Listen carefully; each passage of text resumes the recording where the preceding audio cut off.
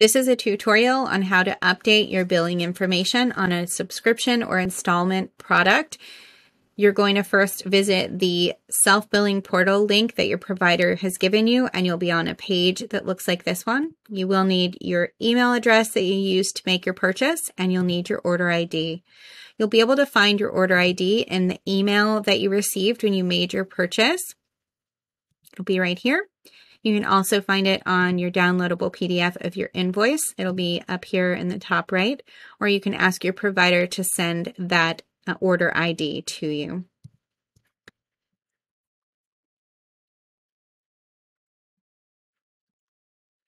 Going to go ahead and put in my email and my order ID. And click on locate order.